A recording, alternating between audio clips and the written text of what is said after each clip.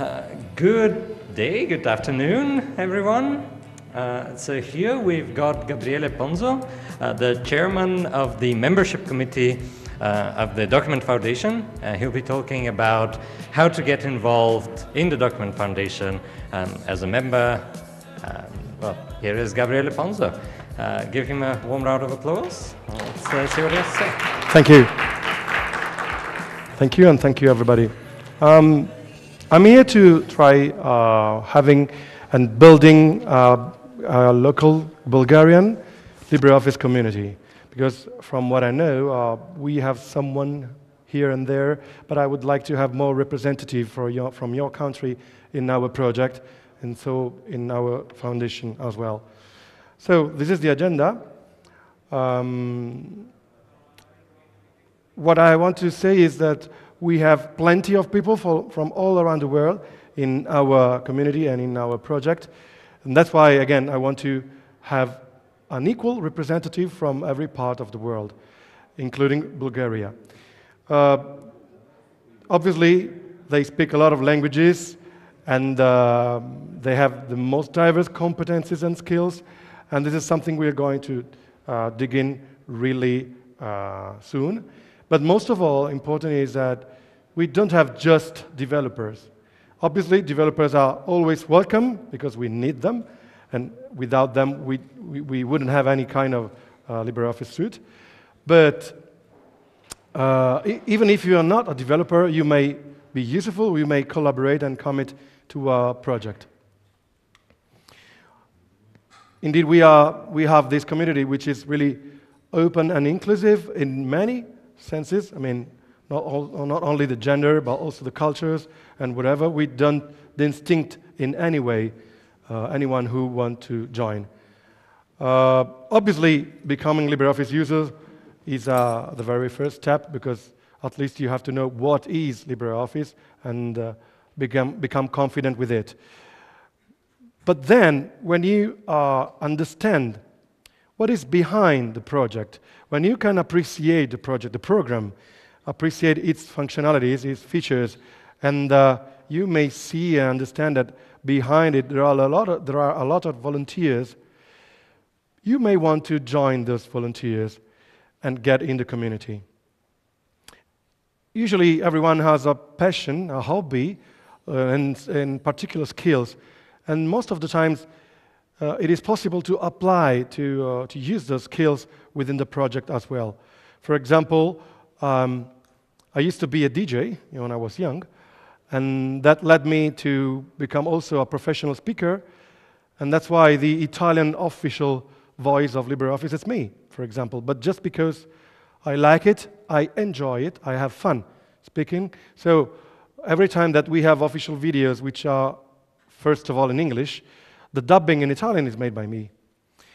Um, it's just about having some spare time to dedicate to the project and do what makes fun, obviously. We don't ask, it's volunteering, so you have to have fun doing that. We will never ask to uh, do something against your, I mean, uh, volunteer or um, something who, which is boring or whatever. As you may know, obviously, being here, most of the open source software lets you do a lot of things for almost zero cost. You know that free software doesn't mean free as a price, but in the case of LibreOffice, it is. So the question is to think about giving something, something back to the project. So you won't pay for the software, you will save money for the license, and, but you still have something really, a, a, good productivity suite, and you can so uh, use it for your own, for your business. Uh, bear in mind that uh, LibreOffice is multi-platform. This means that can run on, Libre, on, sorry, on Windows, on Linux, and on Macintosh in the very same way. What I want to say is that, for example, Microsoft Word in uh, Macintosh behaves a little bit differently respect of uh, Microsoft Word in Windows, from what I know, but I may be wrong. But I've seen some kind of slight difference. While LibreOffice is exactly the same uh, code base, So the very same application is running in Windows, Linux, and uh, Macintosh, and lets you do a lot of things. So giving back means not give back some money, even if, if, if you want, you are free to do that, obviously, as a donation. But what I'm here to say is to give back as time. So committing and contributing, contributing to the project somehow. That's the spirit of our members. Every know, everyone knows uh, what LibreOffice is, obviously, but probably raise your hands if you know what is Document Liberation Project. No one here. Okay, just briefly, it's a part of the project which is, let's say, in charge to develop the filters. The filters are the part of code are responsible for importing and exporting in the various formats. So if in LibreOffice, you are able to open Microsoft Office formats, DocX, XLS, X, and whatever. It's just because there is the Document Liberation Project. But bear in mind that this project has to share with LibreOffice, but not only. For example, even Calligra, or Inkscape, or Scribus, and many other uh, open source software, they use our filters, let's say our, in the philosophy of open source software, you know, we share the sharing community, the sharing economy. So we share these pieces of code, and we have let, for example, Inkscape um, being able to open Corel Draw files, for example. That's the Document Liberation Project, which is not so famous as the LibreOffice itself.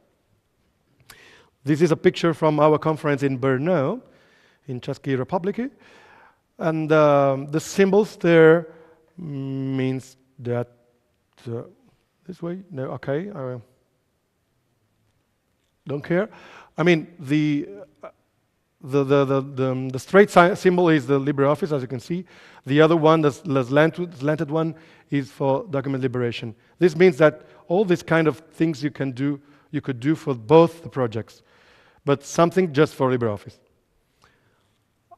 Uh, some of you, of you may have seen already this presentation because I used to recycle, let's say, but this is my role in the community and in the foundation, so it's my precise role to uh, enroll and to recruit people for the community. This is me. Uh, there, and the lower side is in Brno again, it was an interview, and, and the upper side is in Almeria. This is to say that one of the things that could have could been made for the community is marketing. So conferences, seminars, uh, trainings, or promotion locally, globally, or both. And promotional stuff, just like photos, presentation, videos, as I used to do, interviews, show, TV shows. So sooner or later, I would love to have some kind of this stuff. And social network interactions. So even, for example, caring of our Twitter account or Facebook account or whatever is a kind of a way to contribute to the project, and it, it is recognized. So what are you waiting for? Are you shy? Come on. Um, another area in which you co can collaborate is documentation. Documentation means manuals, and imagine that, for example, just um, Writer, which is the word processing part of LibreOffice, its manual is something like uh, 500 and more pages. Just Writer. Then you have Calc, you have Impress, you have Draw, and you have Base. All the components of the LibreOffice suite. Online help pages, wiki pages, and uh, the file format papers, because this is a documentation for the Document Liberation Project. This is something uh, somewhere there where they uh, used to write, you know, the specification of the documents and whatever. And support others is still a form of documentation, meaning that you, you give, you know, support. You, you may uh, reply to emails in the mailing list, for example, or IRC channel, or on social networks. We have Ask uh, website, Reddit, and Facebook, and whatever. So this is uh, this attains to the documentation area. So that's perfect also for people who is shy because you are behind your keyboard and you don't show in public, for example. Then we have translation. Translation is a lot of stuff, because we have to translate, first of all, manuals, because the manuals are, written in uh, English. So when we talk about documentation, we talk about manuals, we are talking about writing manuals in English. Here we are talking about translating from English to Bulgarian, in your case, or Italian, or whatever. Online help, website, wiki pages, LibreOffice in- interface itself, because if you have, I don't know, the translation of file, edit, and whatever, and format in Bulgarian, but someone has done. Probably this man, uh, Mikhail okay, probably. And uh, as I see, he's the most contributor, followed by, followed by Stoyan. And, uh, okay, and marketing stuff, because the presentations or subtitles to the videos or flyers, you know, paper, all kind of, you know, mm, promotional stuff need to be translated in your native language. We call it NLP, Native Language Projects. And bear in mind also that English is not strictly required because in manuals you have also the pictures, which are screenshot. Well, about a screenshot, you don't need to know English. You just have to uh, open LibreOffice, do the very same thing you see um, in the in English manual. So open the, the, the, third menu, for example, and the fourth uh, row in the menu without knowing English. You just have to open the very same uh, dialogue or menu or whatever, take the screenshot, and you have committed to the translation as well. Then we have the quality assurance area. Uh, what you can see there are stickers we used to uh, ship to people who contribute in quality assurance, especially during the bug hunting sessions. But let's start from bug triaging. Triaging means that uh, we have Bugzilla, which is our platform for the bug uh, report list. Then you may choose one, one bug, maybe one that is annoying you. And uh, what you have to do to triage is just try reproducing that bug. Uh, this is, I put this for first just because it's uh, propedeutic, is uh, a training way to then submit your bugs. Because before, before submitting, submitting any bug, you should know how does it work. So uh, in this case, um, you'll see that the bug list is um, just, we call it the monkey list because you have just one open LibreOffice, two open Writer, let's say, three open the menu. So everyone should be able to reproduce the bug and really quickly because volunteers can't waste that, their time to, to bug triaging, or, or better, they should be able to uh, triage the most, the many bugs they can in the, in the time they have. So when you get used to it, you may try submitting your bugs. And then there are the, these campaigns called bug hunting. This is something we used to do usually two weeks before a new release. It's a weekend in, the, in which you may uh, contribute hunting for bugs explicitly, so the two days dedicated for that. And uh, you can get in touch with developers and QA managers via IRC channel. So you may have an, an immediate feedback on, it, on that in that period.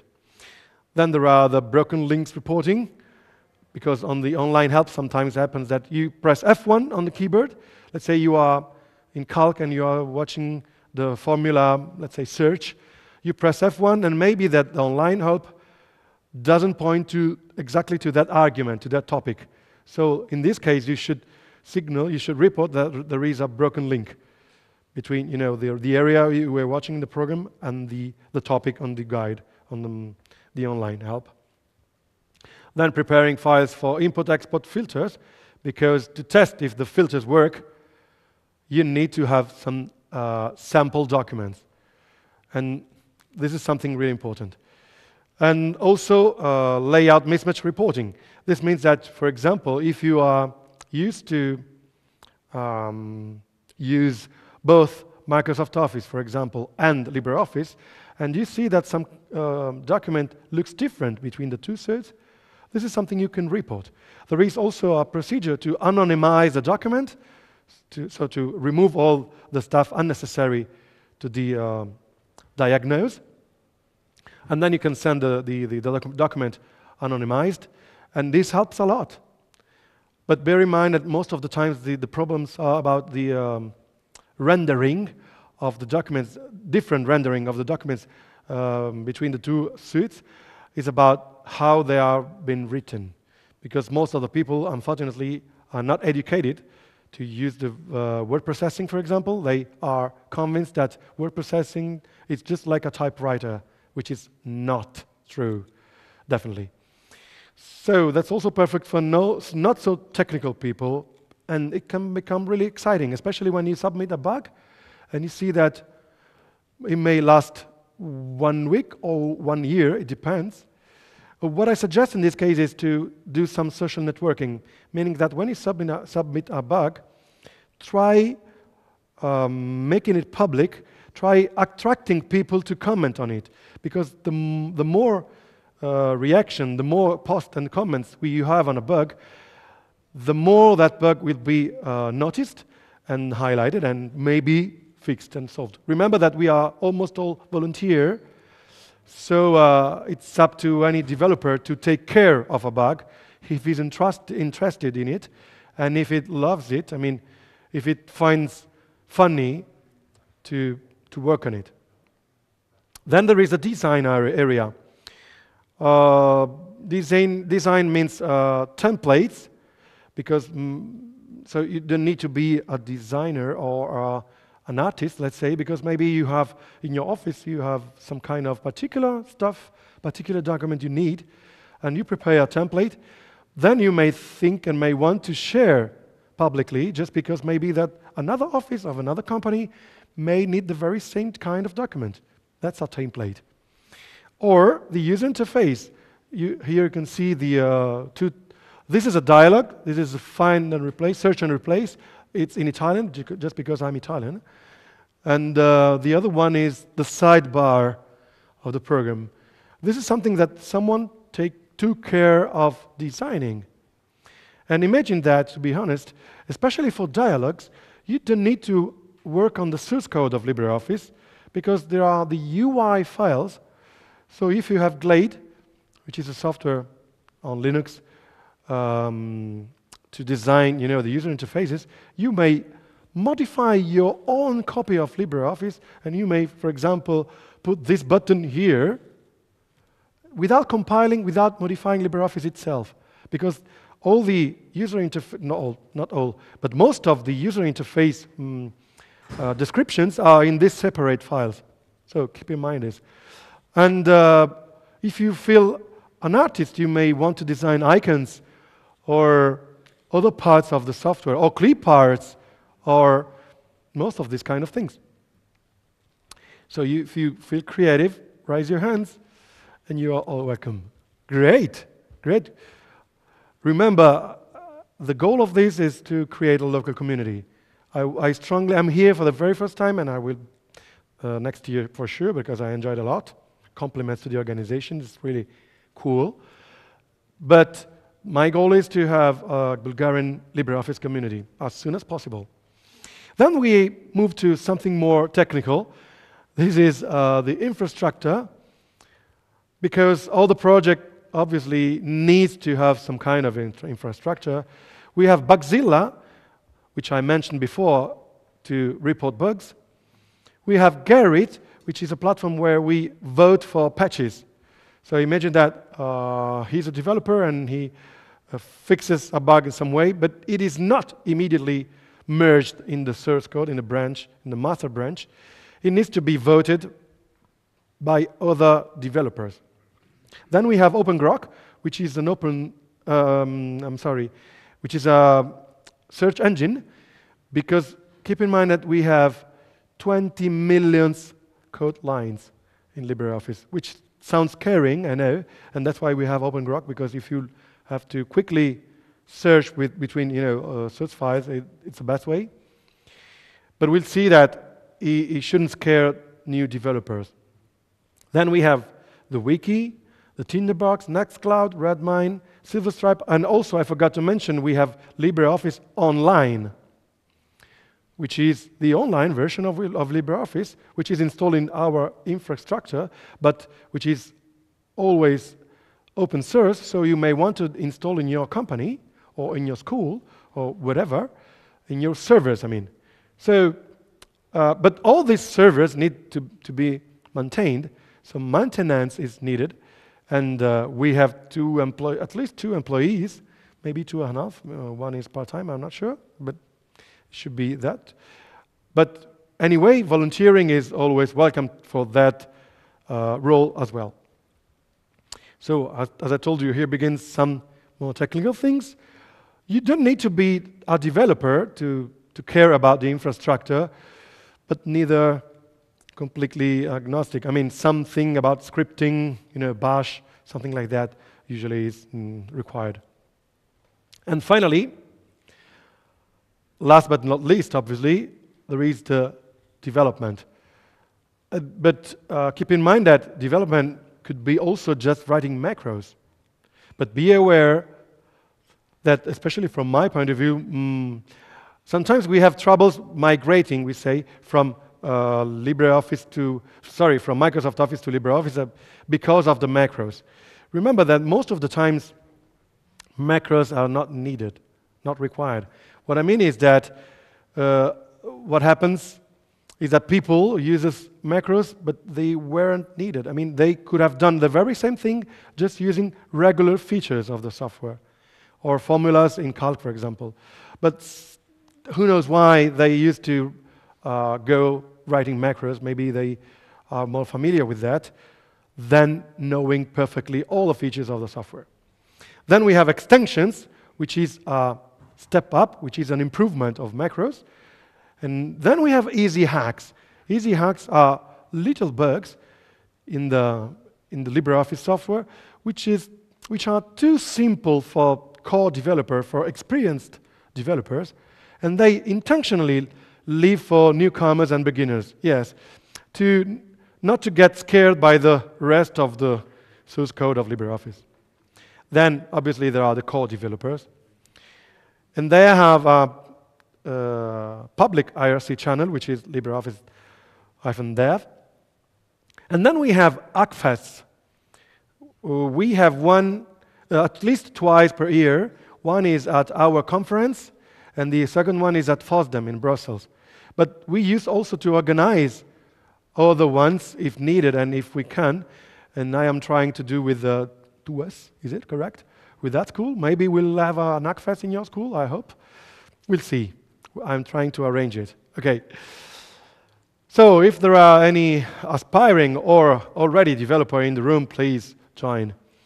Oh, there are also free workshops, which are different because Hackfest is where our developers stand uh, beside you and teach you how to get in the code, but they don't teach you how to code. I mean, they teach you how to get within the LibreOffice code, how does it work, our instruments, Gerrit, and whatever, but you should already uh, know how to develop in C++. Be aware that 95% of LibreOffice is C++. While workshops, in the workshops, they teach how to develop in C++. Why to contribute? First of all, satisfaction. I don't know you, but for me, uh, to help the others is the most satisfactional thing I could do, really. But generally speaking, not, not exactly about speaking about LibreOffice. It's something I really love. When I can help any other, I'm so happy. In particular, you may feel part of a project and feel useful to other people and to other users of the project, obviously, if you improve the project getting in touch with the community, especially in such events just like this one or our conference or whatever. And in these venues, you may meet different people and different cultures.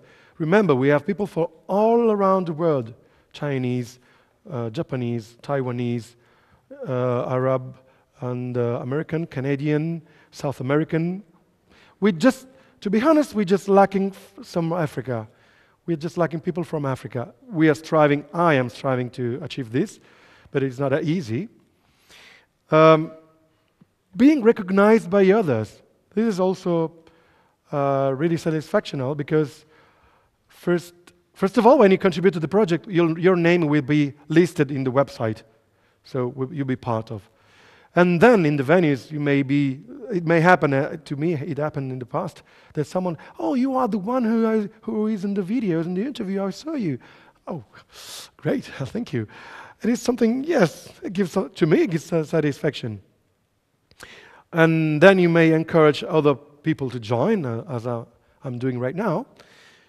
Grow your knowledge because, anyway, as I told to your colleague, let's say, uh, this, is, this can be a way to grow your knowledge of C++, or generally speaking, of an um, open source project. So collaborating to an open source project in any of those ways we have seen. And from my point of view, anyway, if, even if you, for example, uh, decide to um, collaborate on videos, you may improve your video editing skills. So in any way you are going to contribute, probably you will improve your skills. And then you may use the, these skills and this knowledge um, as a reference for a job application. I've been asked to uh, testify with the certificate, and I did it. It's no problem to me. Then, if you are particularly good in developing, you may fix your bugs. Or, you, if you are particularly good in friendship and uh, you know human related, you may get them fixed. And as I said, you may find your name in the credit list. And finally, you may make the difference because every little step, every little leap is something that improves a project and makes a difference. So if you like to meet people and discover different cultures and have fun and eat together, we are all similar because this is, from my point of view, this is also interesting because the social events related to the, to the venues and whatever, I really like and enjoy it a lot. Because even talking about, you know, the weather, I mean, or, you know, talking about whatever with different cultures, you may uh, get a different perspective, and it is always interesting. Now we talk about the Document Foundation membership, because until now we, we have talked about being part of the project and, and thus part of the community, which is obviously free in and free out. You may come in and come out of our community whenever you want, and uh, there is no sign in, no registration, nothing at all. While to be part of the foundation, know that, please know that the Document Foundation is the foundation with uh, headquarters in Berlin, in Germany, which is behind the LibreOffice project. It is our organization. Why would you want to, could you want to be part of, um, of the membership and so of the, of the foundation? You may want to uh, improve your position as a volunteer, as a committer, because you can take part of a governance. This means that you can vote for the board of directors or and or for the membership committee. And that's how and why I am the chairman of this membership committee, just because I candidated myself and the rest of community, especially Italians, but not only, they voted for me, and at the end I was within the um, membership committee. And then, this is the third, no, yes, 14, yeah, the third turn for me. And, and recently I've become the, the, chairman because whenever you are inside and you are well known, uh, the next elections you may got more votes, especially if you do something noticeable and something interesting for the project. That's it. Um, you can feel an ambassador, much more if you are entitled, if you are part of the project and part of the foundation itself. So you, you, you feel more entitled to, to be an ambassador of a project. Have fun always, because we are always talking about volunteering, even if you are a member of the foundation. Anyway, it's free for free, not paid. Get satisfaction again, be the growth of our project, and get travel support. Obviously, this is not a reason to become member, but it's a plus. I mean, I'm here thanks to this also. And for example, for me, it's the very first time I'm in Bulgaria and in Sofia. So I had the chance to visit your beautiful city and country thanks to this venue and thanks to the Document Foundation who is going to refund me the expenses of flight, trains, and uh, hotel. Then there are the certifications. Uh, you, you may get certified for, as a developer or as a trainer, just like I am and as a migration expert, as I am. We have a, a complex, well, let's say not complex, coded um, migration process, but we may talk about this later in case. And then, again, find a job as a TDF employee, who knows? Most of us, no, not most, sorry, many of us have become employees of the foundation, or as a contractor, or as an as self-employed, just like I am, in the ecosystem, or as an employee for a company involved in our ecosystems system. So, how to become a member? Just contributing on a regular basis. This means that uh, what we look for is this regularity. It's volunteering, so it is, you don't have to every single week donate one hour of your time now and then whenever you want. But the important thing is that it is not once. That is. Because we had also in the Albanian community, which is lovely, they used to make rush. They call them sprints. So they uh, meet each other physically in a, in a room, and they, for example, translate the whole LibreOffice in uh, Albanian, which is cool and fine, but it's just once. And for our statute, I can't I couldn't and I can't admit them as a member, so they have to do something now and then. then you have to apply, uh, just filling in a form, and then the membership committee checks if you have already done something. So that's why I first I have talked about the, the uh, community and then the membership.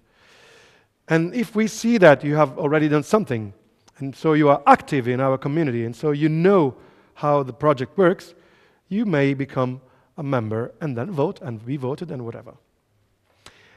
That was all. I hope to haven't been too boring. And uh, if you have any questions, I think we have time for them, isn't it? So, in the meanwhile, thank you.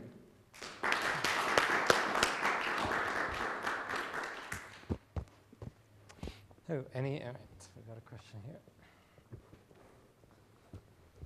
Uh, thank you. Um, my question is uh, regarding any opportunities uh, for companies to collaborate uh, with the, the, Document Foundation. Um, for instance, offering support for migrating um, clients. But you probably know better than me. Yeah, no, good point. Yes. Uh, uh, let's say that as um, we, we can accept as a member of the foundation just uh, person, physical persons, but we have the advisory board, which is uh, meant for the companies, and we have several companies there, just like Google, for example, as well, if I'm not wrong. Uh, but we have uh, most of all Collabora and CIB, which are the most active companies. What they can do is, from, for our statute, they may donate money with a limit of 20k euros not more than this. This is to avoid the taking over. Because in the past, I didn't tell you the story of LibreOffice, but you may find it in the internet. But we had some kind of these troubles in the past. We had a company who was taking, who did take over, and so who was controlling. Fortunately, they were good people, but by the way, we don't want to have such kind of situation again. So there is a money limit. There is no limit in people donating. People donating means that, for example, um, Red Hat, if I'm not wrong, they should have something like uh, four. I'm not sure, but because I'm, I'm not in the, in the advisory board. They should, I mean, anyway, they have many people working for us full time. So they pay their salary, but they work for the LibreOffice. And that's how uh, most of the code is developed, to be honest, because we have um, thousands of volunteers, really, but the, the, the real core development team is made of uh, paid people by those companies. So this is one. The second thing to, to say about this is that on our website we have a list of, um, let's say, partners, which are companies or individuals who are certified and so are entrusted to, um, to operate on our software. And then, if you like, we, we may talk about the certification, no, sorry, the um, migration protocol, for example, if you, uh, unless many of you want to know about that. But for the moment, we'll keep it as a further question. Cool. Uh, one more. Hey, um, I wanted to ask, is there a possibility of contribution outside of tech, like for example, UI, UX, um, yeah, anything non-technical? Yes. Uh, maybe you joined later. It is. We have the design team, which is UI, UX indeed, and you may uh, want to participate and collaborate in that one uh, with icons, dialogues, or whatever you want. And uh, yes, there is. Um, there is a, a, a, good community as well in that, in that area. I mean, and we have also an employee of the foundation who is responsible for this area. So he's, let's say, coordinating the works of these kind of volunteers. And, uh, and yes, yes, please, please join. Also, keep in mind that, yes, yes, please. Uh, I'm, I'm sorry uh, all the, the, promotional stuff, just like you know uh, signs or flyers or videos or logos on. So, for example, we have a contest right now because next year, the 2020, will be 10 years of LibreOffice and 20 years of the project, including OpenOffice. Okay, so we are trying to create a logo for this particular year, celebrating this, and uh, which will uh, uh, bring us through the whole here. So you may want to participate in that as well. Uh, in the LibreOffice website, there is um, contribute area. You may see there the various mailing, mailing lists, and one of them is explicitly for the UI UX. And please join first the mailing. This is valid for everyone in any field, in any area. First, join the mailing list and say, hello, I am Gabriele, I would like to uh, collaborate with this project in this area, and they will all answer, welcome. Uh, we are lacking in this area, for example, if you like it, or otherwise do whatever you will, we wish and you want, and uh, please join, please. Hey, uh, what is the situation with uh, LibreOffice Online and Collabora? Because uh, I, I, was just trying also to, to set up uh, Nextcloud with uh, LibreOffice Online. Uh, how is the process? They're contributing to the pro uh, project and they have a fork of it? Uh, what's the... Uh, let's say that from what I know, uh, they are, if I'm not wrong, the most contributors to the LibreOffice Online, Collabora, but even CIB is working on that. Uh, let's say that until today, we have two versions, which is, let's say, the open version, which is open source and freely downloadable, and then they have their own version. The code base is really close to each other. They say that they, sorry, they used to um, have some extra feature that they release later on. You know, let's say that they implement some new feature, they keep from themselves for a while, and then they release it in the in the open source version. So they uh, work parallelly or almost.